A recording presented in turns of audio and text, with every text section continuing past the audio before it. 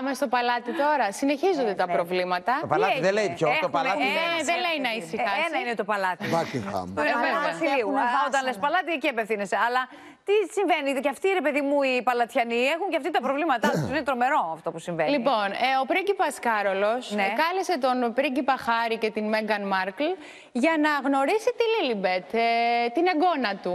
Α, Αλλά ο πρίγκιπας Χάρη δεν πηγαίνει. Γιατί; Προσπαθεί να ρίξει γέφυρες ο Κάρολος, τις παίρνει πίσω ο Χάρης. Γιατί ρε Λοιπόν, παιδί μου και αυτός τώρα, μαύρη πέτρα έριξε.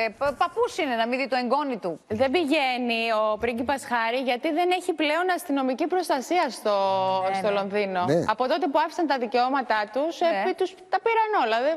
Και να Αλλά σου πω και ο κάτι. ίδιος δεν έχει μια δική του προστασία. Δεν είναι Έχει, πίσω ότι έχει, αλλά δεν, ε, είναι μόνο για, την, για εκεί που μένουν. για την Αμερική. έχουν χάσει τη βασιλική προστασία που είχαν. Ακριβώς. Η ασφάλεια, Είναι τα ιδιωτική προβλήματα. εταιρεία Την που τους ιδιο- προστατεύει. Τον και ιδιώτη bodyguard που τον προστατεύει. Δεν Δεν μπορεί να τον έχουμε. πάρει μαζί δεν του στο ένα πηγαίνει. Υπάρχει κάποιο πρωτόκολλο και δεν.